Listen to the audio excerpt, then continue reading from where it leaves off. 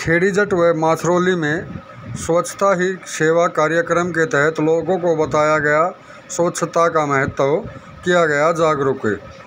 जिला प्रबंधक मीनू ने स्वच्छता ही सेवा कार्यक्रम के दौरान स्वच्छता का महत्व समझाते हुए लोगों को बताया कि हमें गीला व सूखा कचरा सफ़ाई कर्मचारियों की सहायता से डोर टू डोर कलेक्शन करना होगा। उसके बाद इनको अलग अलग किया जाएगा। गीले कचरे को अलग से इकट्ठा कर जैविक खाद बनाने के लिए कंपोस्ट बेड में रखा जाएगा। ठोस, प्लास्टिक, गत्ते आदि को अलग अलग रखवाया जाएगा।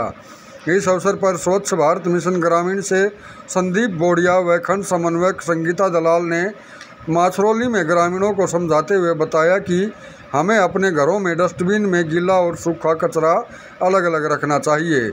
हमें घरेलू स्तर पर भी कचरे से खाद बना कर उसका प्रयोग करना चाहिए। पोलोथीन व प्लास्टिक के कट्टों में भर कर उसको अलग अलग स्टोर कर सकते हैं।